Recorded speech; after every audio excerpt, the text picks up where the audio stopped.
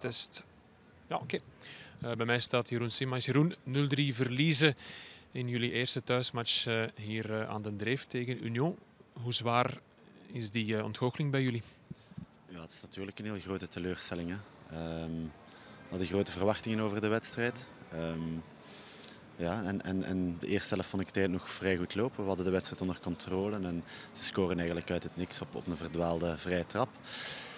Uh, maar tijdens de rust was iedereen nog positief en we, we gingen het uh, proberen recht in de tweede helft. Maar dan heel snel krijgen we weer, uh, weer een vrije trap, vrije trap binnen en dan, dan was het, het kalf bijna verdronken. Mogen we het woord pech vandaag in de mond nemen? Ja, in de beginfase wel. Hè. Ik bedoel, wij, voordat het eerste doelpunt valt van ons, waren wij duidelijk de betere ploeg en we hadden wel een aantal kansen.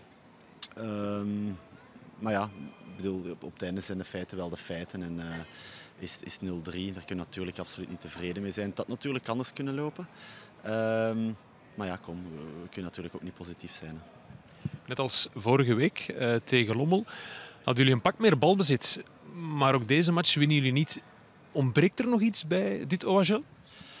Ja, we moeten het is een beetje een, een, dunne lijn waarop dat we nu wel aan, aan het wandelen zijn. Enerzijds moeten we heel positief zijn en anderzijds moeten we toch ook wel beseffen dat we op dit moment niet de kwaliteit hebben, denk ik, om, om play-off 1, of nee, 1B, de competitie 1B nu uh, te gaan domineren, denk ik. Ik denk dat we, dat we nog wel wat, wat creativiteit en wat magie missen om, uh, om, echt het om ons balbezit echt om te zetten in doelpunten en kansen.